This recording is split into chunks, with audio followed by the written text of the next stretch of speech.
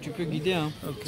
Bonjour maître. Oui, bonjour. Veuillez vous présenter s'il vous plaît. Euh, je suis maître Keturafan Tamara, l'un des avocats de l'ancien Tamara.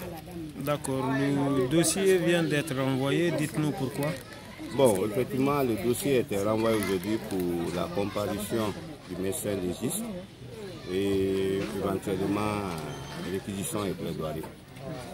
Sauf que euh, a été constaté la non-présence de la partie civile, l'avocat de la partie civile et du médecin légiste.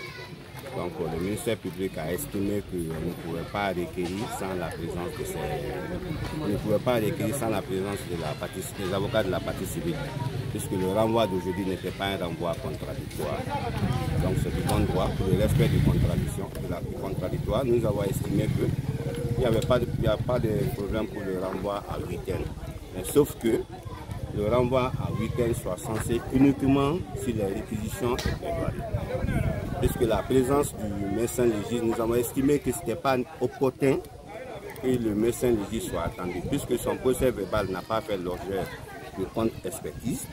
Donc il n'y a pas lieu de, de, renvoyer pour sa présence.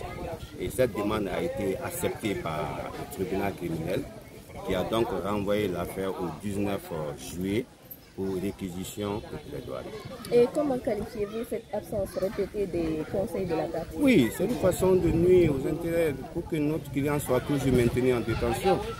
Vous imaginez, depuis le 31, depuis le 1er avril 2022, notre client est en détention.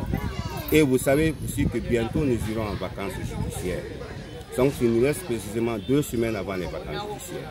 Donc pour moi, c'est fait à dessein. C'est pour que le client ne puisse pas saturer. Parce que pendant les vacances judiciaires, pour deux mois, ouais, notre client sera toujours en détention.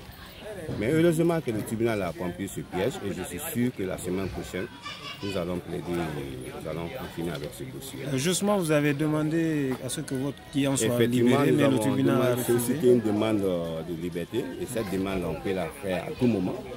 Parce que pour nous, à chaque fois, le dossier est renvoyé pendant que notre client est en détention. Et nous avons estimé que la liberté étant le principe, qu'on accorde la liberté provisoire à notre client. Là, dans ce cas, autant de renvois qu'il veut, il n'y a aucun problème.